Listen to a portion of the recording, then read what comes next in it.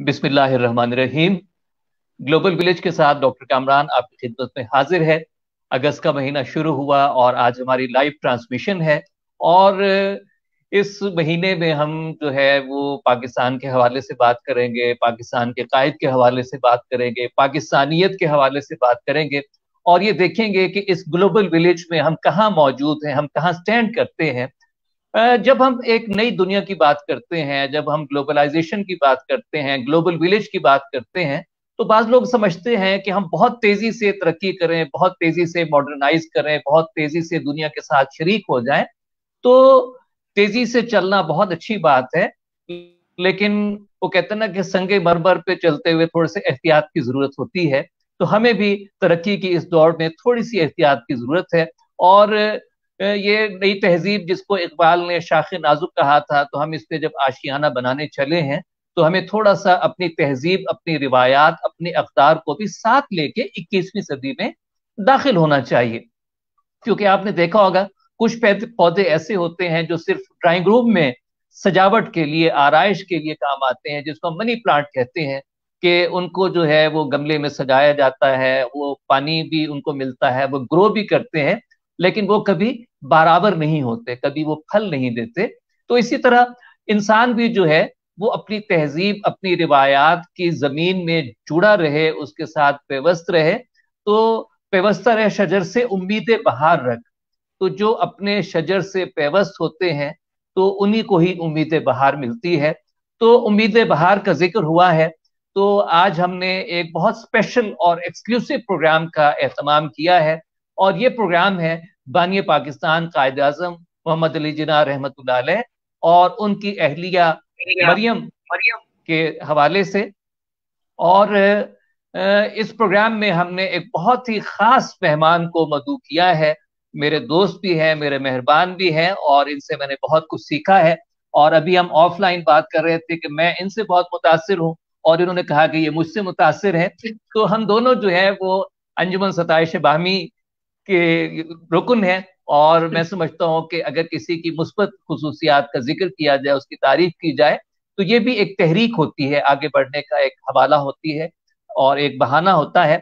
तो आज हमने अपने प्रोग्राम में मदू किया है डॉक्टर साद एस खान को जो पाकिस्तान एडमिनिस्ट्रेटिव सर्विस में अफसर हैं।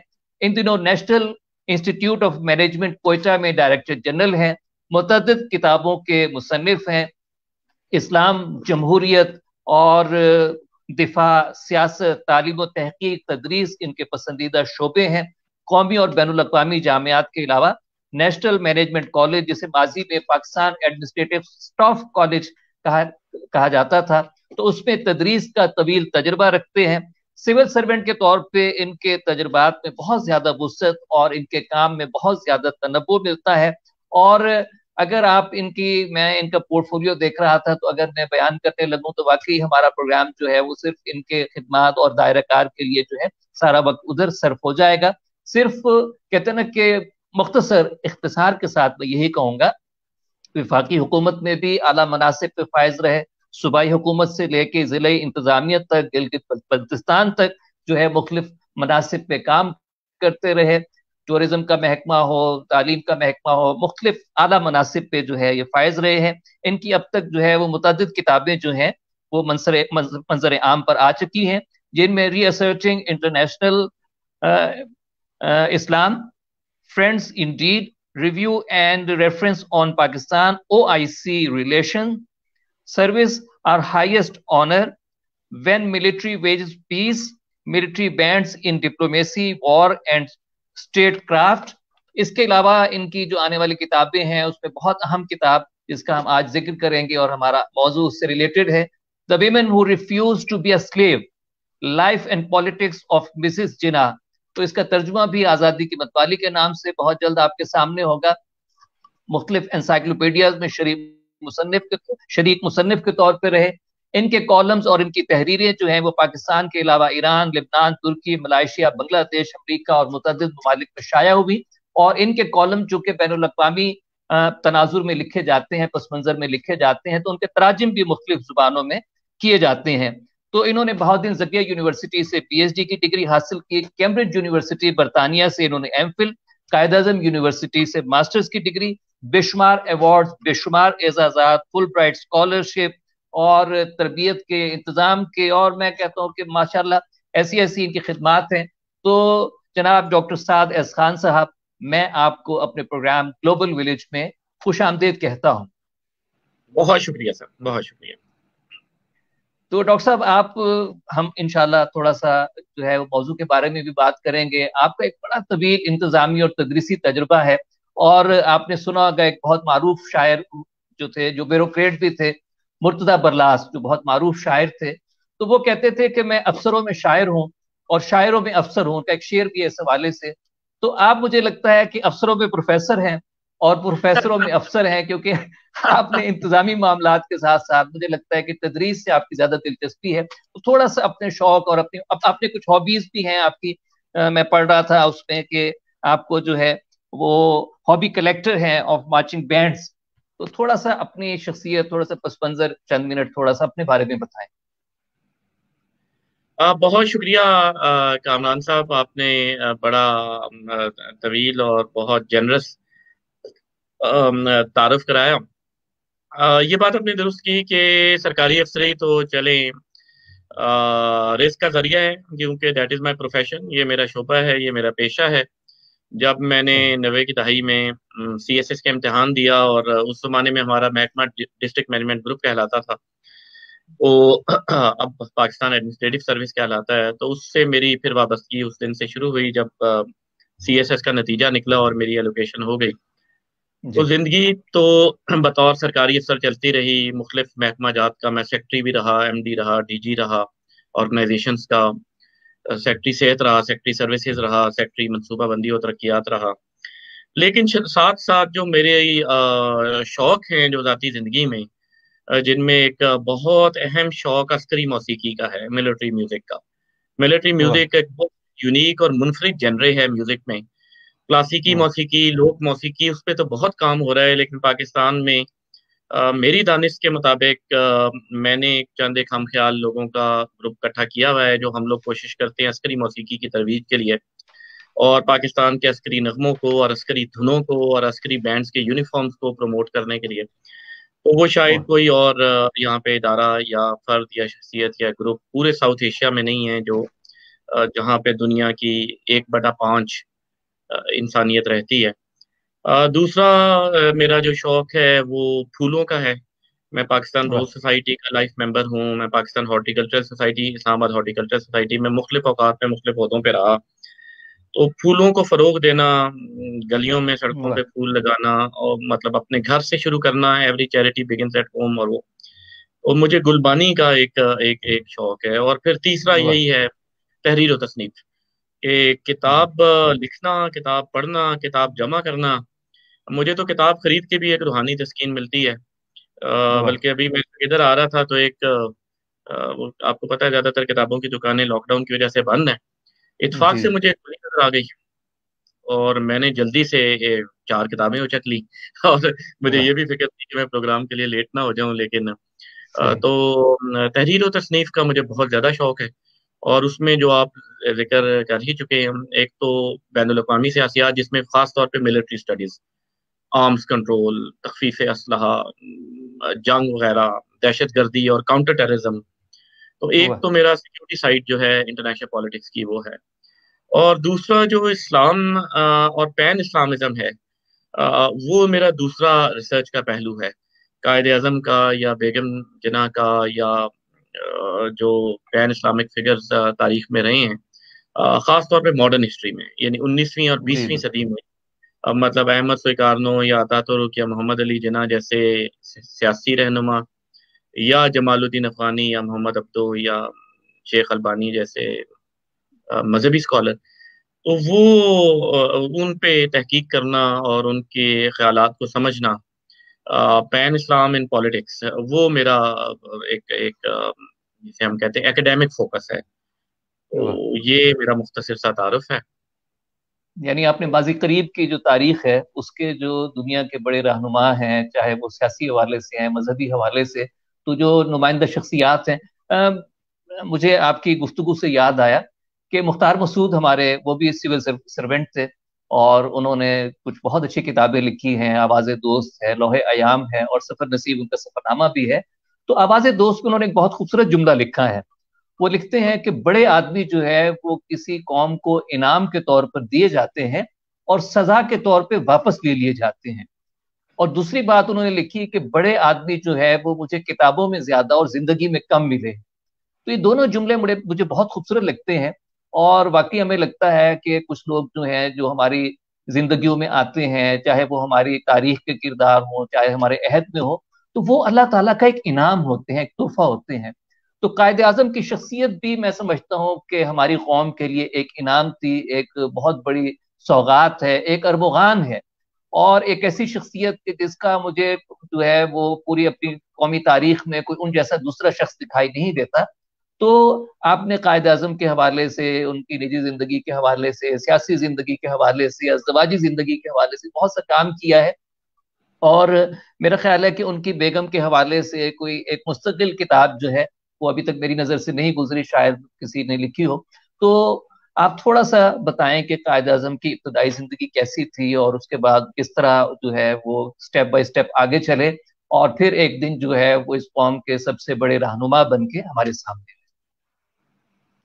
आ, बहुत शुक्रिया कामरान साहब क्योंकि ये एक ऐसा मौजू है जो मैंने आपको अर्ज़ किया कि जो पैन इस्लाम पे जिन्होंने भी काम किया किसी भी मुसलमान कौम के लिए चाहे बर सगीर की मुस्लिम कम्युनिटी हो चाहे इंडोनेशिया की हो चाहे मशरक वस्ती की हो तो वो मेरा एक एक सब्जेक्ट रहा है मताले का।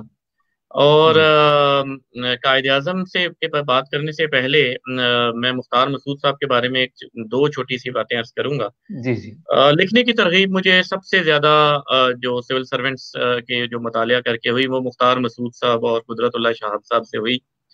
और मेरी बड़ी ख्वाहिश थी, और मैं जैसे कि अल्लाह ताला से दुआ करता था तो मैं कहता था कि अल्लाह, मुझे मुख्तार मसूद जैसा ज़ोर कलम मिले। क्योंकि जैसे जो दो जुमले आपने बताए, उनका मतलब लोहा याम पढ़ लें, या बल्कि अभी एक चौथी किताब भी आई है उनकी, हरफ शौक के नाम से। अलीगढ़ के बारे में, अलीगढ़ यूनिवर्सिटी का जो उनके तजर्बात थे, और जो उनका अपना वहाँ पे वक्त गुजरा था तो वो एक तवील मकाला लिख रहे थे पिछले दस साल से। वो लिखते लिखते गालबन 600 टाइप शुदा सफात से भी तजावज कर गया। तो उनकी अहलिया आजरा मसूद साहिबा ने हाल ही में उसे शाया कराया। और ये शायद एक कर्ज था आजरा मसूद साहिबा के ऊपर क्योंकि ये शाया करने के कुछ ही हफ्तों के अंदर अंदर वो भी इंतकाल कर गई अभी इसी साल ये 2020 में। तो वो एक अगर ये हरफ शौक ना आती तो वो फिर तीनों किताबों पे बात रह जाती है और ये हरफ शौक भी जितने हमारे नाजरीन और सामीन हैं मैं गायबाना तौर पे इस किताब का तारुफ करा रहा हूँ।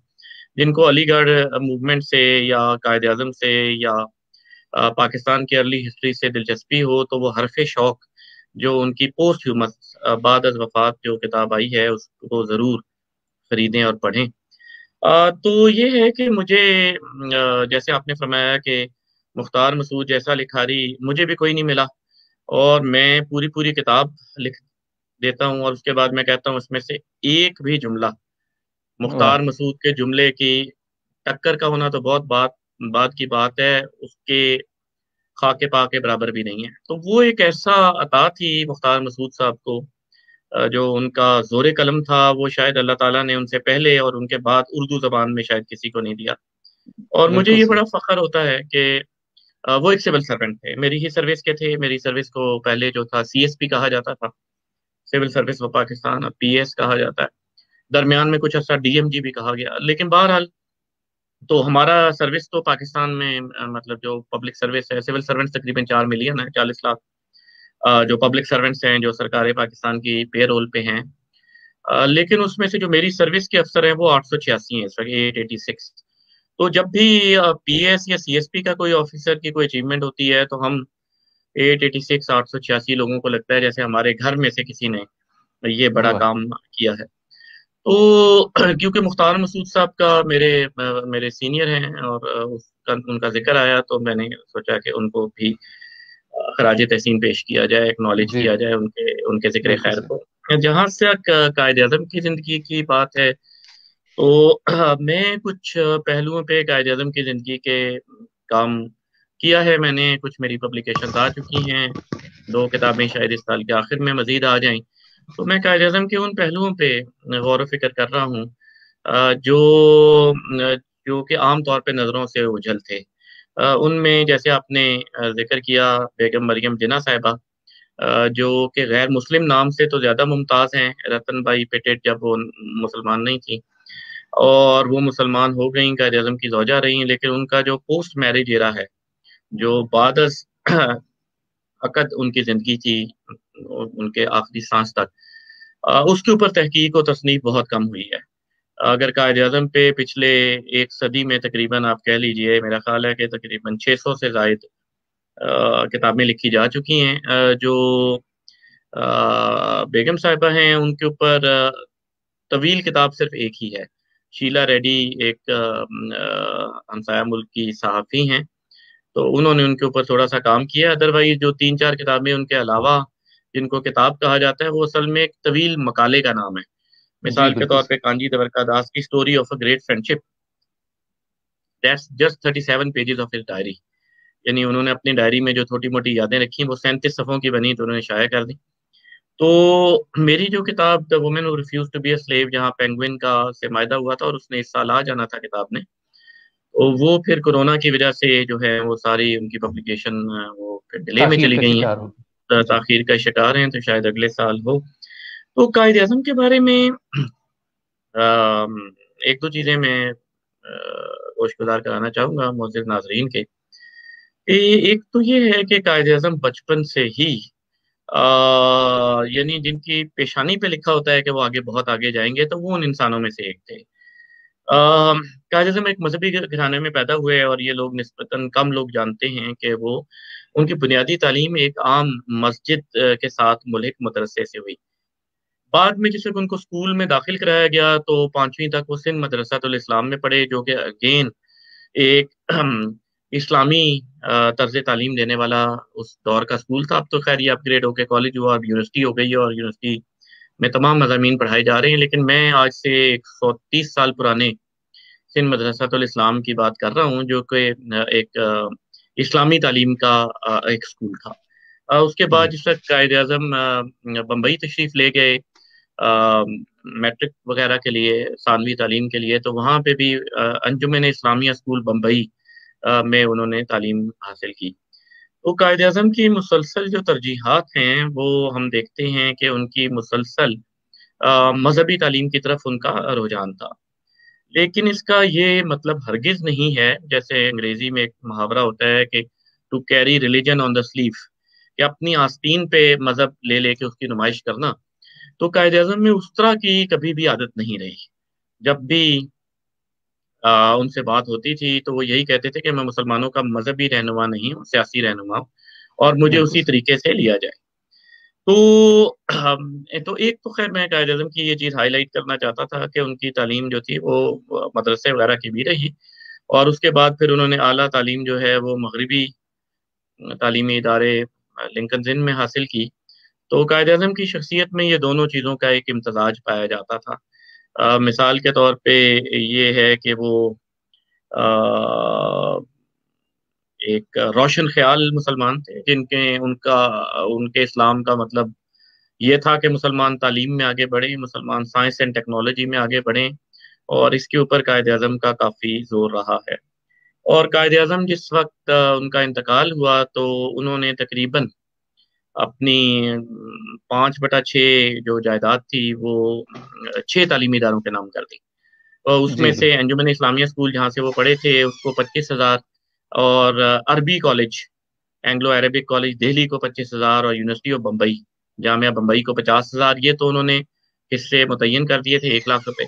और बाकी माइंदा जायदाद में से उनका हुक्म यह था कि इसको एक तहाई इस्लामिया कॉलेज पिशावर और एक तहाई सिंध मदरसा इस्लाम कराची और एक तहाई इस्लामी अलीगढ़ मुस्लिम यूनिवर्सिटी को दिया जाए।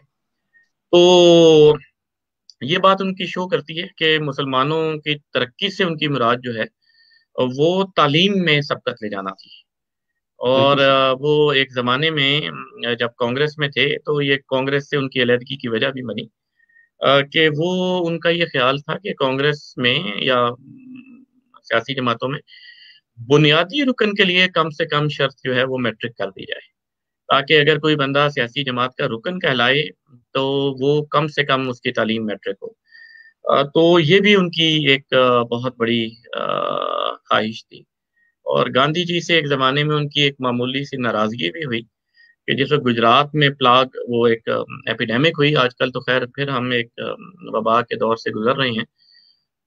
तो मारूफ मशहूर हुआ कि गांधी जी ने अपने हामियों को कांग्रेस के हामियों को सरकार के अस्पतालों में जाने से मना किया है। और कहा है कि जी आप फलां फलां किस्म का कोई मजहबी रस्म उन्होंने बताई होगी कोई चिल्ला या कोई चीज़ तो उसके लिए जो है वो आप इलाज के लिए करें लेकिन गवर्नमेंट के अस्पतालों में ना जाए। तो कायद अजम ने इसको बहुत गलत समझा और उन्होंने कहा कि गलत रविश की जा रही है कि एलोपैथिक मेडिसिन जो मौजूदा सेहत के लिहाज से जो तालीम में जो जिद्दत आ चुकी है, उस दौर के लिहाज से उन्नीस सौ गालबन चौंतीस की ये बात है। तो उससे लोगों को दूर करना है और लोगों को वापस जो है वो नजूमियों की तरफ़ और ये इस तरह लेके जाना वो मुनासिब नहीं है। तो बहरहाल, कायद अजम की ज़िंदगी के बहुत से पहलू हैं, ये उनका तालीम से मोहब्बत। मेरा नहीं ख्याल कि उसके अलावा कोई भी बर सगीर पाको हिंद के मुसलमान हिंदू या ईसाई रहनुमा हैं जिन्होंने अपनी तमाम जायदाद जो है वो तालीमी इदारों के नाम की हो। और छयों के छयों तालीमी इदारे चाहे बर सगीर के तुलो में जहाँ पे भी हैं वो वही तालीमी इदारे हैं जो मुसलमानों की तालीम के लिए काम कर रहे थे। बिल्कुल तो यूनिवर्सिटी ऑफ़ बॉम्बे कायद का बीएन था ना तो इससे आप देखें कि उनके खुतबात से उनकी तकारीर से हर जगह से जो है यही अंदाज़ा होता है कि मुसलमान जो हैं अगर दुनिया में तरक्की करना चाहते हैं और ख़ासतौर पर नौजवानों को उन्होंने जो है वो तालीम पे बहुत ज़्यादा ज़ोर दिया और तालीम को उन्होंने तरक्की की एक सीढ़ी बनाई। अच्छा ये आपने जो है उस दौर के लोगों का जो है वो सबका मुताल किया। तो कायद अजम जितना बड़ा विजन रखते थे, जितनी बसीरत उनमें थी, दूरंदेशी और सबसे बड़ी चीज़ कैरेक्टर एक किरदार जो है तो क्या हमारी नाअहली है कि हमने दुनिया को कायद अजम का वो इमेज अभी तक वो नहीं दे सके कि वो दुनिया के जो बड़े लीडर्स के, आप देखें ना कि हमारे हमसाय मुल्क में उन्होंने, आप देखें कि गांधी अगर एक आप थोड़ा सा ऑब्जेक्टिव होके देखें तो गांधी की ज़िंदगी में बहुत सारे मसाइल दिखाई देते हैं, बहुत सारे जो है वो ऐसी चीज़ें हैं कि जो जिन पे हम बात कर सकते हैं कि उनमें कुछ कमी थी उनपे वीएन की कमी थी तो इकबाल अपना कायद अजम उनसे बड़े लीडर हैं। लेकिन हमने शायद दुनिया के सामने एक कायद अजम की वो पिक्चर पेश नहीं की या रिसर्च नहीं की। आपका क्या ख्याल है कायद अजम को क्या वो मकाम मिला है जो वो डिजर्व करते थे? मैं ये समझता हूँ कि कायद अजम को वो मकाम नहीं मिला जो वो डिजर्व करते थे। कांग्रेस की जो नॉन वायलेंस तहरीक थी अहिंसा की गांधी जी की आ, वो तो मतलब आप गूगल में भी लफ्स अहिंसा डालें हालाँकि हिंदी का वर्ड है लेकिन आपको हज़ारों रेफरेंसेस मिल जाएँगे। और गांधी जी एक रिकग्नाइज फिगर हैं, दुनिया में कहीं पे भी, किसी यूनिवर्सिटी में आप जाएँ और ये, और कायद अजम साहब का जिना साहब का बताना पड़ता है। तो उसकी शायद वजह ये है कि हम क्योंकि माशी तौर पे तरक्की नहीं कर सके, और अगर हमारा पाकिस्तान का मकाम कहीं पे होता, अगर जी सेवन में जी एट में या जी ट्वेंटी में, जो बड़े बीस ममालिक का ग्रुप है इकोनॉमिकली डेवलप्ड कंट्रीज़ का जिसमें कुछ मुसलमान ममालिक भी शामिल हैं तुर्की भी है सऊदी अरब भी है। तो उसमें अगर हम होते तो वो फिर कायद अजम तक किसी तारुफ के मोहताज ना रहते। अगर पाकिस्तान हर जगह एक रेलिवेंट कंट्री होता दुनिया की फैसला साजी के फोरम्स पे जो कि आहिस्ता आहिस्ता हमें पसंद हो या ना पसंद हो बर सगीर के बाद ममालिक जिनमें से एक हमारा सूबा भी रह चुका है वो इकोनॉमिक स्टेबिलिटी में और पॉलिटिकल स्टेबिलिटी में, सियासी इसकाम में हमसे आगे निकलते जा रहे हैं। तो लेकिन बहरहाल कायद अजम की जो आपने बात की करेक्टर की तो एक दो चीज़ें मैं ज़रूर शेयर करना चाहूँगा। कायद अजम के बारे में एक बात, बहुत सी गलत बातें मशहूर हैं, जिनमें से एक ये भी है कि कायद अजम एक रुपया अलामती तनख्वाह लेते थे, बतौर गवर्नर जनरल, जो कि दुरुस्त नहीं है। कायद अजम एक कानूनी आदमी थे और उन्होंने कहा जो गवर्नर जनरल की तनख्वाह मुतन की है और वो पहले से मुतन थी तो वो वो लेते थे जो जो तनख्वाह दस हज़ार थी जिसके ऊपर पाँच हज़ार से ऊपर कोई भी तनख्वाह हो तो सुपर टैक्स लगता था और सुपर टैक्स जो था वो तनख्वाह से डेढ़ गुना होता था यानी कि चार हज़ार उनको इसमें से कट कटा के मिलते थे छह हज़ार यानी जो है यानी जो तनख्वाह मिलती थी टेक होम सैलरी से उसका डेढ़ गुना जो है वो टैक्स हम्म। में अदा फरमाया करते थे जिसके अलावा भी कराची और लाहौर में उनके बंगले थे, जिस वक्त उन पे वो, उन्होंने किराए पे दिए हुए थे तो उसको भी वो हुकूमत पाकिस्तान को एक भारी टैक्स की मद में अमाउंट अदा किया करते थे। मिसाल के तौर पे लाहौर में जो जिना हाउस है माल रोड पे ऊपर मॉल ऑफ़ लाहौर के सामने, ये एक जमाने में जिना हाउस हुआ करता था। कायद अजम का जाती बंगला था, कायद अजम ने किराए पे दिया हुआ था, सात सौ रुपये किराया था, चौरासी रुपये सौ रुपये सालाना इधर से उनको मिल जाते जाते थे। जिसमें से टैक्स काट के से छत्तीस सौ रुपया मिलता था। यहाँ पे भी तकरीबन उनकी साठ सत्तर फ़ीसद इनकम जो है वो टैक्स में चली जाती थी। तो कायद अजम क्योंकि खुद गवर्नर जनरल थे बानी पाकिस्तान थे तो वो आ, उन्होंने कभी ये इन्फ्लुएंस करने की कोशिश नहीं की कि टैक्स की शरह जो है वो बढ़ के ग्यारह हज़ार हो जाए जिसके ऊपर सुपर टैक्स लगे ताकि उनकी तनख्वाह बढ़ जाए। क्योंकि कायद अजम एक ऐसे आला पाया के वकील थे कि उनकी जो योमिया फ़ीस थी वो एक हज़ार पाँच सौ रुपया थी। जब तक वो वकील रहे। जिस वक्त उन्होंने सरकारी मुलाजमत शुरू की as governor general of Pakistan अब वो सरकार के मुलाजिम हो गए चाहे गवर्नर जनरल थे बड़े लेकिन उन्होंने ये सारे टैक्सेस पे किए और अब वो उस तनख्वाह पे रहना शुरू हो, हो गए जो उनके अढ़ाई दिन की तनख्वाह होती थी अढ़ाई दिन की आमदन होती थी। एक और वाक्य मैं उनका अक्सर कोट किया करता हूँ कि हिंदू मुस्लिम कुछ फसादात हुए।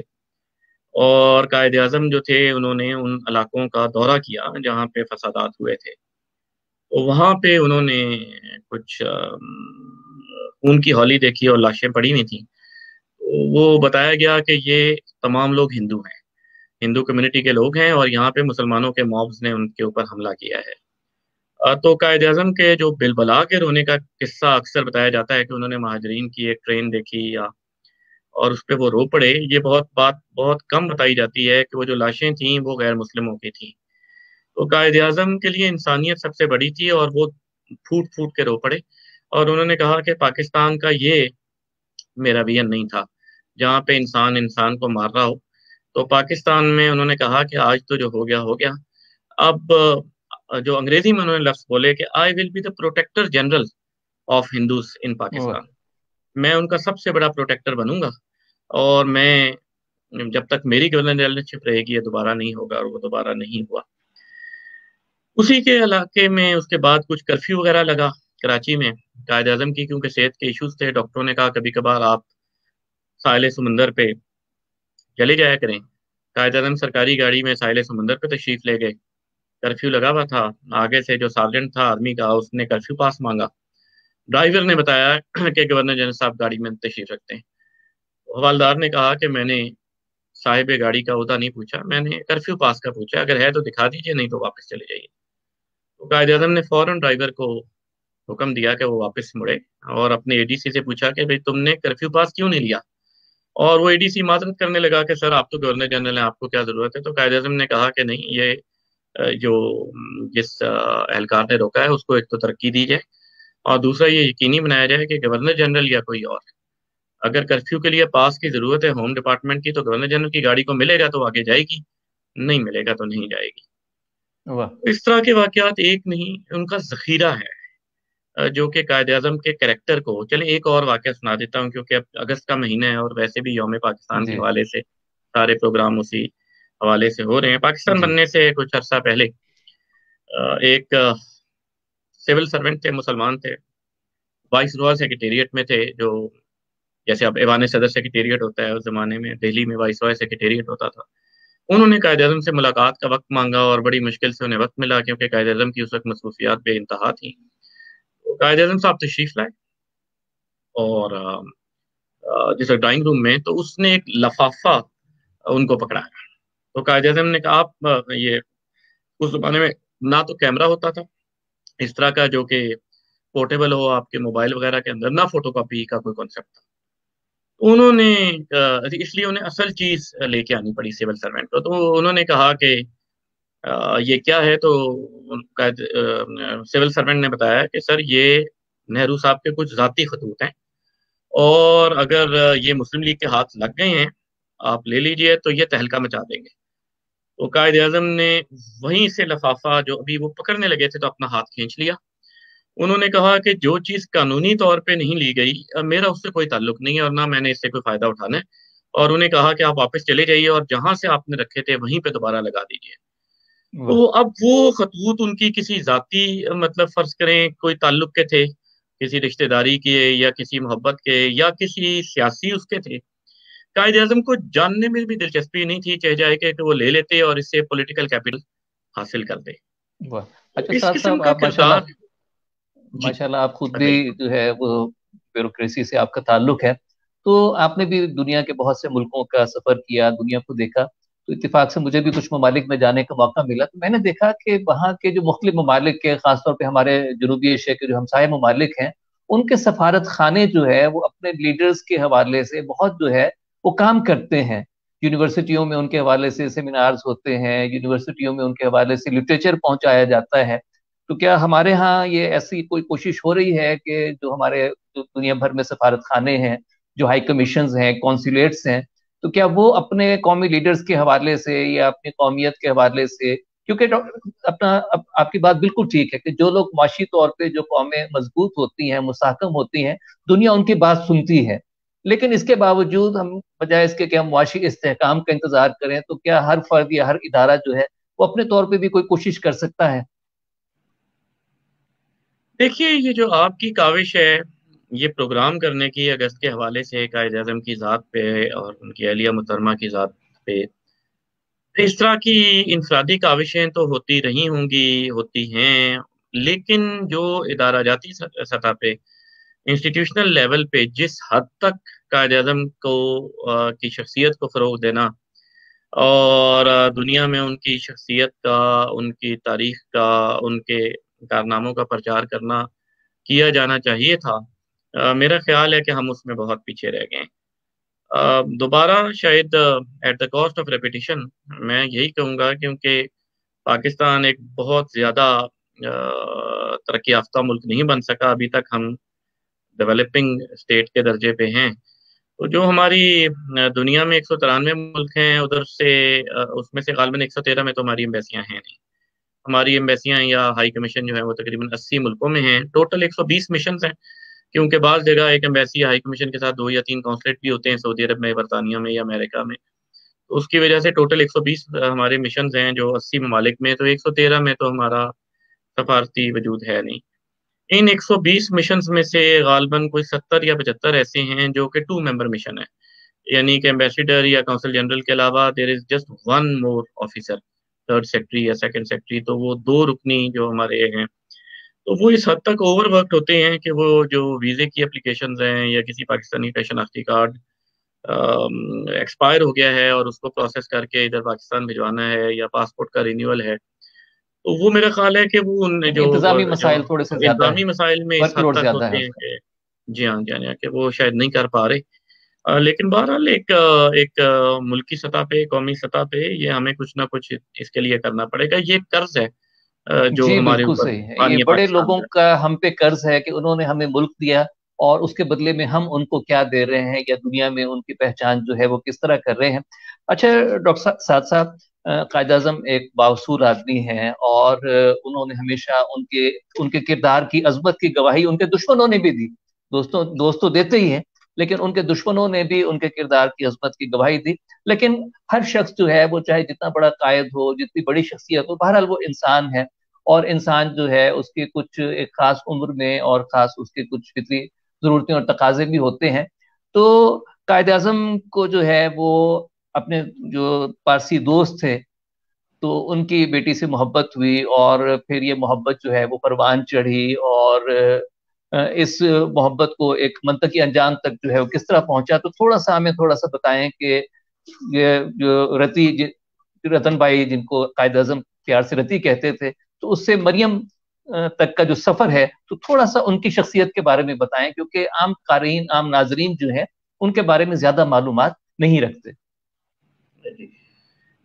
देखिए कायद अजम की मुलाकात रतन भाई पिटिट नामी खातून से आ, उनके वालिद के तफसत से हुई। इनफैक्ट जो वालिद थे सर डिंशा पेटेट वो एक कोर्ट केस में कायद अजम का उनसे आमना सामना हुआ और कायद अजम उनके मुखालफी की पैरवी कर रहे थे। Quaid Azam was lawyer of the opposite side of Sir Dinshaw Petit और वो कायद अजम की जो खुश बयानी से और जो उनकी आ, इस कानून पे जो उनकी कमांड थी उससे वो बहुत मुतासर हुए। और उस जमाने में आपको पता है 1890 में या 1900 में ये गालबन अठारह की बात है जिस मुकदमे में आमना सामना हुआ। उस जमाने में टेलीविज़न रेडियो इंटरनेट कार इस तरह की चीज़ें तो शायद ईजाद ही नहीं हुई थी। तो जो अकलौता जो साहिब सरबत लोगों का एंटरटेनमेंट थी शाम को वो क्लब जाना होती थी। आज भी लाहौर कराची बड़े शहरों में दिल्ली ढाका में जिमखाना स्काई में ये जिमखाना लफ्ज बिगड़ के बना गेंद खाना क्योंकि वहाँ पे वो बॉल गेम्स जो जो गेंद से गेम्स होती हैं खेल अंग्रेज़ खेला करते थे। तो वो शाम को क्लब में ही इकट्ठे हो जाना बिलियर्ड खेल लेना या टेनिस खेल लेना या टेबल टेनिस खेल लेना या एक दूसरे के साथ नोशी या सिगार नोशी तो वो कर लेना। तो क्योंकि दोनों इतफाक से ओरिएंट क्लब के मेंबर थे दिल्ली का बड़ा बड़ा मशहूर क्लब था ओरिएंट क्लब ज़्यादातर क्लब जो थे वो सिर्फ़ अंग्रेज़ साहब सरबत को मेंबरशिप दिया करते थे तो जो लोकल एलिट थी अशराफिया थे तो वो ओरिएंट क्लब यानी अहले मशरक का क्लब वो क्लब का नाम ही ओरिएंट क्लब था तो उधर उनकी आमना सामना हुआ और उनकी दोस्ती हो गई। आहिस्ता आहिस्ता गालबन ये उन्नीस सौ तेरह की बात है कि कायद अजम को एक बरतानिया से जाना पड़ता था कोई सियासी मसरूफियात होती थी कभी कानूनी। तो वो तशरीफ़ लेके जा रहे थे और उस जमाने में शिप पे जाया जाता था क्योंकि फ़जाई जहाज़ तो अभी मुस्तमिल नहीं हुए थे। तो वो तो Mrs, Mr and Mrs Petit और उनकी बेटी जो थी रतन भाई पिटेट, वो भी उधर साथ थी। तो ज़ाहिर शाम को शिप के ऊपर लोग डेक पे इकट्ठे हो जाते थे, ठंडी हवा भी चल रही होती थी बरतानिया के सफ़र के दौरान। और गपशप होती थी सियासत में तो वो मोहतरमा आहिस्ता आहिस्ता कायद से मुतासर होना शुरू हो गई। In the meantime Quaid Azam की अपनी शादी भी नहीं हुई थी। उसके दो तीन वजूहत हैं। एक तो ये है कि उनके वालिद साहब का बिज़नेस बहुत बुरी तरह तबाह हो गया था। उसके बाद उनके वालिद साहब इंतकाल कर गए। इनके छह छोटे बहन भाई थे जिनको इन्होंने सपोर्ट करना था। बारी बारी एक एक करके बहनों की, फिर भाई की शादी करनी थी। फिर अपने आप को फाइनेंशियली स्टेब्लिश करना था। तो वालदेन का इंतकाल और सारी बहनें छोटी होने की वजह से, क्योंकि कायद सबसे बड़े थे तो वो रिश्ता होने से महरूम रह गए क्योंकि उस जमाने में अब भी खैर काफ़ी काफ़ी हद तक मशरकी माशरों में यही है लेकिन अब तो फिर थोड़ी बहुत मोहब्बत की शादियाँ हो जाती हैं। उस वक्त तो तकरीबन जो खानदान की बड़ी बूढ़ी खातन होती थी बड़िया बड़ी बूढ़ियाँ जिन्हें हम कहते हैं तो वही जाती थी। क्योंकि जनान खाने में किसी मर्द का एक्सेस नहीं होता था किसी भी दूसरे मकान के। और कायद अजम का जहन ये मानने को तैयार नहीं था कि खातून से मैं पूरी ज़िंदगी इकट्ठी करूँ गुजारनी हो और मैंने उसे देखा भी ना हो। और वालदा या कोई बड़ी थी नहीं जो रिश्ता मांगती तो यही करते करते कायद अजम तकरीबन सैंतीस साल के हो गए। खैर, सैंतीस साल कोई बढ़ापा नहीं है, लेकिन बहरहाल ये है कि कायद अजम की जो मंगनी हुई, वो तकरीबन सैंतीस साल की उम्र में हुई। और वो ऐसा हुआ कि कायद अजम ये क्योंकि पेटिट खानदान जो था वो 1913 में तो कायद अजम के साथ गए, लेकिन वो तो इतफाक था। ये खानदान हमेशा मौसम गर्मा जो था वो फ्रांस में मनाया करता था। क्योंकि अमीर लोग थे तो इधर गर्मी बड़े शरीर में बहुत ज़्यादा होती है तो तीन माह के लिए ये फ्रेंच रिवेरिया में जहाँ इनका पेटेड हाउस था फ्रांस में मेडिटेरेनियन कोस्ट अच्छा। पे तो ये वहाँ पे जाया करते 1914 से 18 तक जा ना सके क्योंकि जंग अजीम शुरू हो गई मेडिटेरेनियन सी में तो बहरी जंगे वो जो ग्रेटेस्ट नेवल बैटल्स हुई हैं। तो ज़ाहिर है वो जो कम्यूटर ट्रेवल था वो तकरीबन खत्म हो चुका था। तो इसलिए पिटिट खानदान जो था उन्होंने दार्जिलिंग में एक मैंशन खरीदा। दार्जिलिंग एक बिल्कुल नॉर्थ पे शहर है इंडिया के। हमारे मरी या पटियाटा या पुरफजा मकाम है जी। पुरफजा मकाम है तफरीही मकाम है। तो वहाँ पे उन्होंने किया तो कायद आज़म को इन्वाइट किया। और जंग की वजह से और बाद दीगर वजूहत की वजह से कोर्ट्स भी क्लोज थी तो कायद आज़म जो थे वो उनके साथ दार्जिलिंग चले गए। तो वहाँ पे बेगम साहिबा को जो फ्यूचर बेगम साहिबा थी उन्हें कायद आज़म पसंद आए और उन्होंने पॉइंट ब्लैंक कायद अजम से पूछा कि आपने अभी तक शादी क्यों नहीं की? तो कायद अजम ने फरमाया कि जी, शायद मुझे मेरे मतलब की कोई लड़की नहीं मिली। तो उन्होंने कहा कि पूरे बर सगीर पाको हिंद में आपको एक भी लड़की अपने मतलब की नहीं मिली। तो कायद अजम ने फरमाया, कम अज कम मुसलमान लड़कियों में तो नहीं। तो ये एक हिंट थी कि मैं गैर मुस्लिम से शादी नहीं करूँगा। तो उस पर उन्होंने कहा कि अगर मैं मुसलमान हो जाऊँ तो तो कायद अजम उस वक्त तो खैर हंस के टाल गए। लेकिन तारीखी शवाद ये बताते हैं और मैंने इसे अपनी किताब में डिस्कस भी किया है कि वो मुसर नहीं कि उनके साथ वो कायद अजम की ज़िंदगी के साथी बनना चाहती हैं। और फिर आगे फिर जैसे अंग्रेज़ी में कहा जाता है द रेस्ट इज़ हिस्ट्री बाद में फिर उनकी शादी हुई और इकट्ठे गुजरी अच्छा डॉक्टर साहब, ये उस वक्त जो था, वो उम्रों का एक फ़र्क भी था और तो इन दोनों में जो है, वो क्या क्या चीज़ें जो है, वो कॉमन थी? ज़ाहिर है कि गपशप हुई, एक अंडरस्टैंडिंग भी हुई, लेकिन जो है, वो आपने उसमें लिखा है कि जो है, वो बेगम साहिबा जो है, कायद आज़म की बेगम जो है तो उनको घोड़ों से दिलचस्पी थी और जानवरों के जो थे, उनसे भी दिलचस्पी थी। और नेशनलिज्म में भी उनको दिलचस्पी थी और कुछ सियासी मामला में भी दिलचस्पी थी। तो कुछ चीज़ें ऐसी कॉमन थी कि वो दोनों जो है एक दूसरे के करीब आ गए और उसके बाद जो है उन्होंने ज़ाहिर है कि अपना इस्लामी नाम रखा, इस्लाम कबूल किया और मरियम जिना के नाम से जो है उन्होंने एक नई ज़िंदगी शुरू की। तो उस जमाने में उनको मुखालफतों का भी बहुत ज़्यादा सामना करना पड़ा और उसमें भी कायद अजम ने बड़ी इस्तकामत के साथ जो है वो उस सारी सूरत हाल का सामना किया। हालाँकि जिस वक्त इन दोनों के दरमियान जो है वो एक अंडरस्टैंडिंग डेवलप हुई तो उनकी उम्र जो है वो अठारह से कम थी। हालाँकि बर सगीर में तो उस वक्त लड़कियों की तेरह चौदह साल की उम्र में शादी हो जाती थी, लेकिन कायद अजम ने फिर भी इंतज़ार किया कि जब वो अठारह साल उनके मुकम्मल हो जाए तो फिर उसके बाद जो है उन्होंने शादी की। तो शादी के बाद जो है वो कायद अजम ज़ाहिर है कि कुछ सियासी मामला में बहुत ज़्यादा मसरूफ रहे। और बेगम साहबा को उतना वक्त नहीं दे पाए तो उस दौर के बारे में थोड़ा सा बताएँ कि जो शादी के बाद का जो कायद अजम का और मरियम जिना का जो दौर है। देखिए, पहली बात तो ये है कि उम्र के फ़र्क के बारे में मैं थोड़ा सा वजाहत कर दूँ। हर दौर के अपने तकाजे होते हैं। जो जिस दौर में कायद अजम की जवानी थी तो उस दौर में लड़कियों की शादी की उम्र तेरह से चौदह साल होती थी।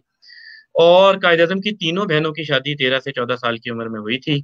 जो कायद अजम की एक बहन थी रहमत बाई, एक थी शीरीन बाई, एक थी मरियम बाई और फातिमा बाई, जो चौथी बहन थी, वो क्योंकि उन्हें जरा अला तालीम का शौक था, वो अहमद डेंटल कॉलेज कलकत्ता चली गई चार पाँच साल वहाँ रही, वापस आई तो गालबन उन्नीस या बीस साल की थी और उस जमाने में उन्नीस या बीस साल की लड़की के शादी होने का कोई इम्कान नहीं रहता था। वो तकरीबन इसी तरह होगा जैसे आजकल कोई लड़की जो है वो एम फिल और पीएचडी करे और उम्र पैंतीस साल हो जाए तो रिश्ते में बहुत ज़्यादा मसाइल होते हैं। और फिर रिश्ता मिलता भी है तो शादीशुदा इंसान या तलाक याफ्ता इंसान का मिलता है और इस तरह के मसाइल होते हैं। तो उस दौर में जो शादी की एवरेज उम्र जो थी वो मुसलमान खानदानों में चौदह तेरह साल थी। हिंदू खानदानों में इससे भी कम थी। बल्कि जैसे Quaid Azam child marriage prohibition act जैसा कि बिल था के तौर पे असेंबली में लेके आए। तो सबसे ज़्यादा मुखालफत वहाँ पे असेंबली में मौजूद बाईस हिंदू अरकान ने की और कायद अजम ने ये नहीं कहा था कि लड़की की शादी आप बाईस साल की उम्र में करें। कायद अजम ने यह कहा था कि दस साल जो उस वक्त मिनिमम एज थी लड़की की शादी की, वो चाइल्ड मैरिज में आता है, ये मुनासिब नहीं है। तो इसको दस से बढ़ा के बारह कर दिया जाए हिंदुओं के लिए, मिसाल मुसलमानों के लिए चौदह हो तो उस पर भी उन्हें शदीद मुखालफत का सामना करना पड़ा। लेकिन क्योंकि गवर्नमेंट साइड के वोट्स उन्हें मिल गए तो फिर वो शादी की जो कम अज कम उम्र है, वो दस से बारह और बाद में बारह से चौदह करने में कामयाब हुए। तो एक बात तो ये है कि जिस वक्त मिसिस जिना ने अजम को प्रपोज किया, शादी की पेशकश की तो उस जमाने में वो चौदह साल की थी और उनकी कई सहेलियों की शादी हो चुकी थी, बाकी रिश्ते तय हो चुके थे और उनके वालदेन बाबा तौर पर उनका रिश्ता तलाश कर रहे थे। कि जैसे मैंने अर्ज़ किया कि अगर अठारह या उन्नीस साल की हो जाती तो फिर वो शादी से महरूम रह जाती थी। वो उम्र बड़ी बुढ़िया कहती थी उम्र ज़्यादा हो गई है और फिर रिश्ता ना मिलने का इम्कान होता था। तो पहली बात तो खैर ये है। दूसरी बात यह है कि जिस वक्त कायद अजम ने सर दिनशा पेटेट को कहा कि भाई आपका बैन मजाहिब शादियों के बारे में क्या ख्याल है? तो उन्होंने फरमाया कि जी ये बहुत अच्छा आइडिया है इससे तो हिंदुस्तान में हम आगे बढ़ेगी। तो जब उन्होंने बताया कि मैं आपकी बेटी से शादी करना चाहता हूँ क्योंकि उनका कोई बड़ा खानदान का मौजूद नहीं था कहा जाता अपने खानदान के सबसे बड़े थे वालदे इंतकाल कर चुके थे। और जो मरवजा जो रवाज थे रसूम रवाज उसमें आमतौर पे छोटी बहन नहीं जाया करती थी रिश्ता मांगने बड़ी बहन जाया करती थी। या खाला जो के कायद के केस में ऐसे रिश्ते उस वक्त ज़िंदा नहीं थे मौजूद नहीं थे। तो तो उन्होंने इनकार कर दिया। खैर मोहतरमा ने कहा कि जी मैंने तो शादी करनी है। वो अदालत से स्टे स्टे ऑर्डर ले आए।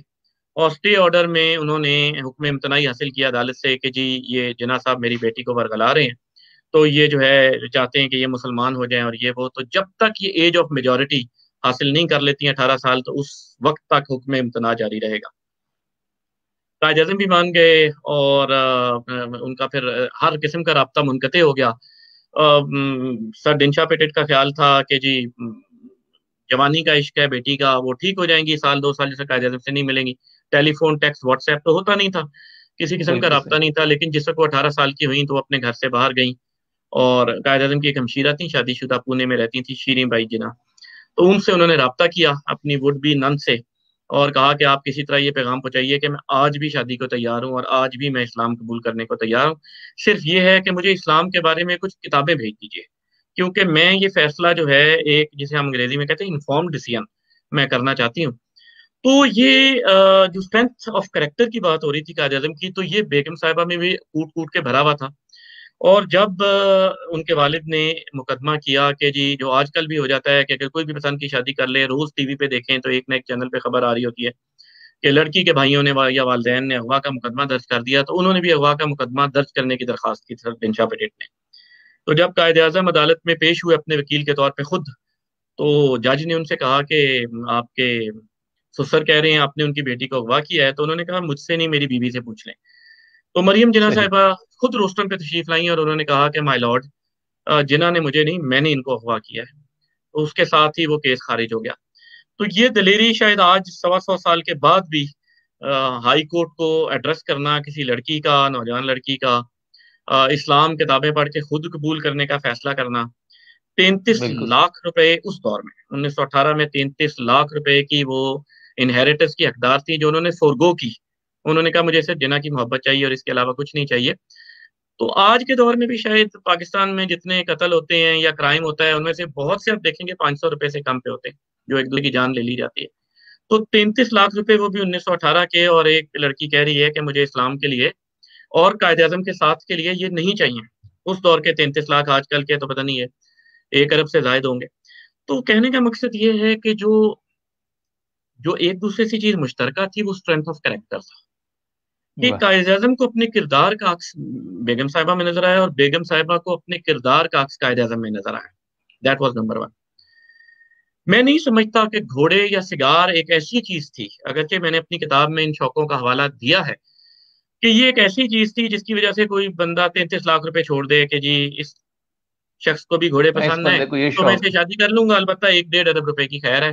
वो तो एक अरब रुपया बंदे के पास हो तो वो मेरे ख्याल है शायद एक हज़ार घोड़े वैसे ही रख सके। तो एक तो खैर ये था। दूसरी बात एक बहुत हाईलाइट करने की ज़रूरत है। वज़ीर आज़म जो इंडिया के थे पहले जवाहरलाल नेहरू उनकी दो बहनें थी। विजया लक्ष्मी पंडित उनकी बड़ी मशहूर बहन गुजरी हैं जो इंडिया की फॉरेन मिनिस्टर भी रही हैं अपर हाउस की सेनेटर भी रही हैं जो उधर राज्यसभा कहलाती है अपर हाउस वो बॉम्बे की गवर्नर भी रही हैं। जवानी में उन्हें भी एक मुसलमान से मोहब्बत हुई सैयद हुसैन नामी बहुत मशहूर इंडिया के साफी हैं। उनके सगे मामू सैयद हुसैन के हुसैन शी सोरवती पाकिस्तान के वजी अजम भी गुजरे हैं। और उन्होंने इस्लाम कबूल किया अपना नाम आयशा रखा और उनसे शादी कर ली और बाद में नेहरू साहब ने उनसे ज़बरदस्ती डाइवोर्स करवाई। कायद अजम के बारे में तो बड़ा इल्ज़ाम लगाया जाता है कि जो उनकी हमशीरा उन, उनकी होने वाली अलिया ने इस्लाम कबूल कर लिया तो भाई नेहरू की बहन ने भी इस्लाम कबूल किया था। ये कोई ज़िक्र नहीं करता। आपको ये हम्म, हम्म। जान के भी हैरत होगी कि हरीलाल गांधी जो गांधी जी के सबसे बड़े बेटे थे वो मुसलमान हो गए और उसी मस्जिद में इस्लाम कबूल किया जिसमें बेगम जिना ने किया था। पाला गली मॉस्क से कहते हैं जो इधर बॉम्बे में। और उन्होंने अपना नाम अब्दुल्ला गांधी रख दिया। तो बात यह है कि जो तब्दीली मज़हब है वो गैर मरूफ नहीं था और जिन्ना नेहरू और गांधी खानदान तीनों में एक एक वाक्य इस तरह का पेश आया। गांधी के पाँच बेटों में से एक नेहरू साहब की दो बहनों में से एक और कायद अजम की अलिया मोहतरमा ने इस्लाम कबूल किया। तो ये कोई कायद अजम से आ, आ, आ, से यूनिक नहीं था। उम्र का फ़र्क भी ये तकरीबन शाइस्ता सोरवर्दी इकरामुल्ला जो बड़ी मशहूर हमारी पार्लियामेंटेरियन गुजरी और उनके हस्बैंड जो इकरामुल्ला जो पाकिस्तान के पहले सेक्रेटरी खारजा थे उनमें भी बीस साल का फ़र्क था। बेगम जहाँ शाहनवाज बेगम सर अब्दुल्ला हारून। लियाकत अली खान और राना लियाकत अली खान। एक बड़े मशहूर इंडिया के कांग्रेस के रहनुमा थे आसिफ अली। उनकी बेगम रूना आसिफ अली उनमें भी इक्कीस साल का फ़र्क था। तो कहने का मकसद ये है कि हम कायद का दिफा कर ही नहीं सके। आ, हमने कभी कायद का इस बात पे तानो तशनी का निशाना बनाया कि उम्र का फ़र्क था जो कि उस दौर में गैर मामूली नहीं था। कभी इस बात पे किया कि जी उनके दोस्तों पारसी थे वो मुसलमान क्यों हो गई? तो मुसलमान तो हज़रत अबू बकर हज़रत उमर भी हुए थे। हमें तो इस पे एतराज़ करने की ज़रूरत नहीं है। इस्लाम तो एक अकीदे की बात है। अगर कोई कन्विंस हो गया कि ये अकीदा ठीक है तो आ, तो इसमें तो वो मुसलमान हो गए। तो ये बुनियादी चीज़ें थी जो इनको करीब लाई। और और फिर ये एक शादी बड़ी खूबसूरत शादी के तौर पे गुजरी। और अगर आप शादी के हवाले से कुछ पूछना चाहेंगे शादीशुदा ज़िंदगी या बेगम साहिबा के सियासी किरदार? हाँ बस उसके तो बाद ये आमतौर पे है कि कायद अजम जो है वो अपनी सियासी मसरूफियात और एक ज़ाहिर है कि नए मुल्क की तामीर के लिए कोशिश कर रहे थे कुछ इंतजामी मामला में मसरूफ रहे तो उनको उतना वक्त नहीं दे पाए और वो थोड़ा सा जो है वो इस चीज़ पे उनको थोड़ा सा महसूस होता था कि उनको वो तवज्जो नहीं मिल पाई जिसको जिसको वो डिजर्व करती थी। तो आपकी इसके बारे में क्या रिसर्च है? ये बात काफ़ी हद तक दुरुस्त है। लेकिन इसमें मैं थोड़ी सी करेक्शन कर दूँगा। वो ये है कि कायद आज़म और बेगम साहिबा दोनों एक दूसरे को वक्त नहीं दे पाए। कायद आज़म भी उस जमाने में सियासी तौर पर बहुत मसरूफ रहे और ये याद रखिए कि जैसे जहाज़ नहीं होता था तो एक छोटे से छोटे इजलास के लिए जैसे बॉम्बे से दिल्ली आना पड़ता था तो आजकल की तरह एक घंटे या डेढ़ घंटे की फ़्लाइट नहीं होती थी। तकरीबन अड़तालीस घंटे ट्रेन में वन वे लगते थे और अड़तालीस घंटे ही वापसी पे लगते थे। और इसी तरह से बरतानिया जाना हो तो आजकल की तरह आठ घंटे की फ़्लाइट नहीं थी, छब्बीस दिन एक तरफ़ के लगते थे जाते हुए और छब्बीस दिन वापस के, वापसी के लगते थे। तो इसको उस पस मंजर में जरा रखी बेगम साहिबा का जो मेरी किताब है, वो उनकी जाती ज़िंदगी से ज़्यादा उनकी सियासी ज़िंदगी पे है। बेगम साहिबा एक बड़ी प्रोएक्टिव खातून रही as as an anti colonialist साम्राज्यत के खिलाफ वो मुजाहरों की क्यादत फरमाती रही। उनके खिलाफ पुलिस एक्शन भी हुआ। वो उन्होंने अपनी जान भी हथेली पे रखी और उस दौर में जिस दौर में जलियांवाला बाग में एक ही मुजाहरे में पुलिस गोलियाँ चलाती थी उस वक्त तक चलाती रहती थी जब तक खत्म ना हो जाए और लाशों के ढेर लगते थे। उसी 1919 में वो जलसे की क्यादत फरमाती है और पच्चीस हज़ार बंदों की वो जल, जलसे की क्यादत फरमाती हैं और उस वक्त की हुकूमत के खिलाफ। वो एनिमल राइट्स की एक्टिविस्ट थी। उन्होंने जानवरों के हकूक के लिए बहुत काम किया किसी और प्रोग्राम में कभी बात करेंगे। वो एनवायरमेंट राइट्स एक्टिविस्ट थी। मोहतरमा जो थी, वो विमेन राइट्स एक्टिविस्ट थी तो उन्होंने भी ज़िंदगी बहुत मसरूफ गुजारी। तो ये बात दुरुस्त है कि अगर मियाँ बीवी में बार बार तनाव का आखिरी एक साल में दो या तीन दफ़ा आया तो उसकी वजह यह थी कि शायद दोनों तरफेन ये समझती थी कि वो अदम तवज्जोही का शिकार है। लेकिन दुख की बात यह है कि बेगम साहिबा पेट के सरतान में मुबतला हुई और उन्नीस में वो इंतकाल कर गई। लेकिन जब तक वो हयात रहीं और जो उनकी बीमारी के जो पाँच माह फ्रांस में थे तो कायद अजम ने ही उनकी तीमारदारी की क्योंकि उनका अपने वालदेन से तो रवाबत ख़त्म हो चुके थे, वालदेन उनको आग कर चुके थे। वालिद साहब खासतौर पर बहुत नाराज़ थे, वालदा ने तो खैर आखिर में सुलह कर ली थी। तो ये एक बहुत बड़ा मसला था, लेकिन कायद अजम जो मरीजा खाना खाती थी, वही खुद खाती थी और हर किस्म की तीमारदारी कायद अजम ने उनकी फरमाई। तो ये नहीं है कि उनमें कोई अलहदगी हो गई थी बिस्तर मर्ग पे भी कायद अजम ही उनकी उनके रफीक रहे और बिस्तर अलालत पे भी बिस्तर मर्ग में भी। और भरपूर मोहब्बत दी जो उस जमाने में जब वो बीमार थी तो कायद अजम ने तमाम मसरूफियात तर्क करके उनको पूरी तवज्जो दी उनके इलाज के लिए उनको भरपूर मोहब्बत केयर हर तरह से दी। कायद अजम की वाहिद औलाद जो उनके साहबजादी उनके बारे में थोड़ा सा बताएँ। अभी 2017 में उनका इंतकाल हुआ तो उनके बारे में थोड़ा सा हमें बताएँ कि उनके की वाहिद औलाद कायद अजम और बेगम साहिबा की दीना जिना थी। दीना जो थी अगेन वालिद और वालदा की सियासी मसरूफियात की वजह से शायद उन्हें वालदेन की उतनी तवज्जो न मिल सकी जितनी के किसी भी बच्चे या बच्ची की तो होती है। क्योंकि कायद अजम और बेगम साहिबा अपनी ज़िंदगी वक्फ कर चुके थे मुसलमान हिंद के लिए और यहाँ की आज़ादी के लिए। तो हर बड़े इंसान की ज़िंदगी में निजी ज़िंदगी में कुछ ना कुछ तल्ख गोशे होते हैं। और दीना जना उनमें से एक थी कि दीना जिना ने बड़े होके ये फैसला किया कि वो एक साहब से शादी करेंगे निवेल वाडिया एक फैमिली फ्रेंड थे। क्योंकि जो वाडिया इंडस्ट्रीज़ हैं कायद अजम एक तो उनके ऑफिशियल वकील भी थे। दूसरा ये है कि आहिस्ता आहिस्ता कायद अजम ने उधर हिस्सा खरीद लिया थे। कायद अजम वाडिया इंडस्ट्रीज़ के शेयर होल्डर थे जो नेस वाडिया निवेल वाडिया के वालिद थे कायद अजम के दामाद के। तो कायद अजम हम्म। उनके वकील होने के अलावा शेयर होल्डर भी बन गए थे। तो वहाँ पे वही ओरिएंट क्लब में और इस तरह वो लड़की ने उनको देखा निवेल को और शादी पे इशार किया कायद अजम ने कहा कि कोई मसला नहीं है। आप ज़रूर शादी कर लीजिए वो इस्लाम कबूल कर ले और शादी कर लीजिए। तो दीना भाटिया का बड़ा मशहूर वाक्य है कि उन्होंने कहा कि जी आपको मेरी आ, तो कायद आज़म ने फरमाया कि तुम्हें मुसलमान लड़कों में से कोई लड़का नहीं मिलता। तो कि तुम उनसे शादी कर लो मुसलमान भी तो करोड़ों हैं। तो उन्होंने कहा कि आपको मुसलमान लड़कियों में से कोई लड़की नहीं मिली थी तो कायद ने फरमाया कि मैंने मुसलमान लड़की से ही शादी की थी। अगर वो लड़की मुसलमान ना होती तो मैं उससे शादी ना करता।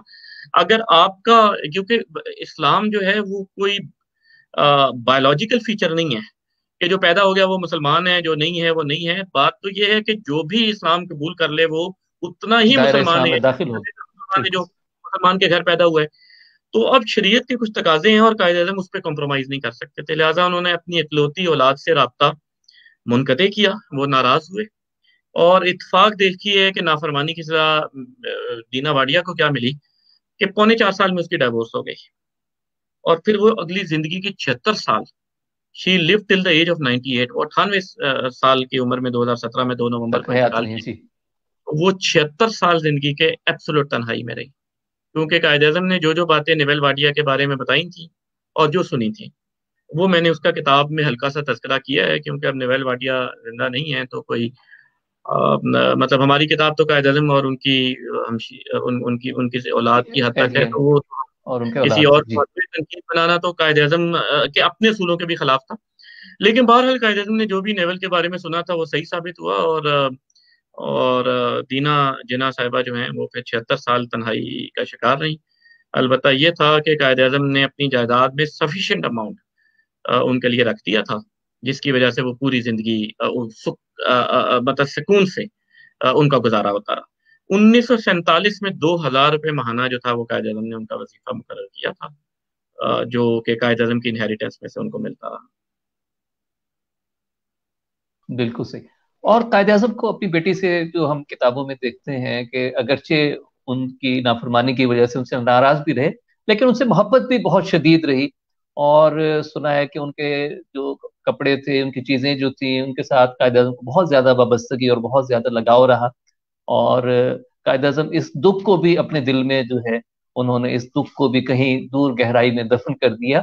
और अपनी ज़िंदगी को उन्होंने जो है वो एक मुकदस अमानत के तौर पे समझा कि मेरी ज़िंदगी जो है, अब और उन्होंने पूरी कौम को, पूरी मुसलमान कौम जो बर सगीर की थी, उसको अपनी औलाद समझा और बाबा कौम बन गए और उन्होंने एक नया मुल्क जो है वो हमारे लिए बना दिया, एक ऐसा तोहफा दे दिया कि जो पूरी इस्लामी दुनिया में एक मुनफरद वाक़ है। तो डॉक्टर साद खान साहब, आपसे बहुत अच्छी अच्छी गुफ्तु हुई, आपसे बहुत कुछ सीखा इनशाला हम एक आध और प्रोग्राम में आपसे दोबारा वक्त लेंगे। तो आखिर में हम कोशिश होती, कोशिश करते हैं कि जो हमारा मेहमान हो, वो कोई पैगाम देना चाहे, कोई अपने दिल की बात करना चाहे, पाकिस्तान के हवाले से, कोई भी आपके दिल में जो बात हो, जो आप शेयर करना चाहें, कोई मैसेज देना चाहें। बस एक ही मैसेज है जी, अगस्त के हवाले से, कि हमें कायद अजम का पाकिस्तान वापस चाहिए अगर हमारे हुक्मरान, हमारे सिविल सर्वेंट्स, अगर हमारे इस अगर हमारा माशरा ये समझ ले कि कायद अजम का क्या करेक्टर था और उसका अशर शीर को भी हम फॉलो करने की कोशिश करें तो कोई वजह नहीं है कि पाकिस्तान दुनिया के अजीम तरीन अकवाम में, अकवाम की सफ में ना आ जाए। बहुत शुक्रिया। बहुत शुक्रिया। डॉक्टर सादस खान साहब, आप से इजाज़त लेने से पहले मैं चाहूँगा कि एक मेरी बहुत पसंदीदा नज्म है कायद अजम के लिए। मियाँ बशीर अहमद ने ये लिखी और क्या खूबसूरत नज्म है और कायद अजम की क्या खूबसूरत उनकी शख्सियत के मुख्तलिफ़ पहलू जो हैं इसमें आए हैं तो मैं चाहूँगा कि प्रोग्राम खत्म करने से पहले आपको सुनाऊं अपने नाजरीन जो हमारे हैं। तो ये बहुत खूबसूरत नज्म है, गाई भी गई।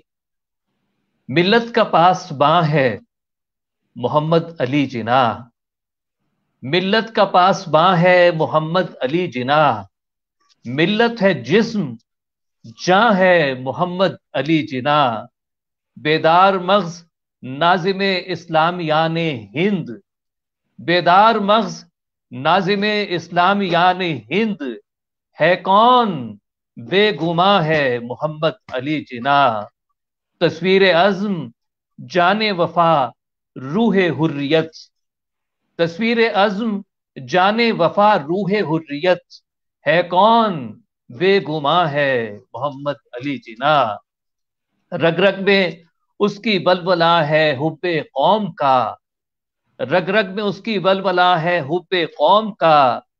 पीरी में भी जमा है मोहम्मद अली जिना। रखता है ठीक जाके निशाने पे जिसका तीर। ऐसी कड़ी कमा है मोहम्मद अली जिना। मिल्लत हुई है ज़िंदा फिर उसकी पुकार से। मिल्लत हुई है ज़िंदा फिर उसकी पुकार से। तकदीर की अजा है, मोहम्मद अली जिना। ए कौम, अपने कायद आज़म की कद्र कर। ए कौम, अपने कायद आज़म की कद्र कर।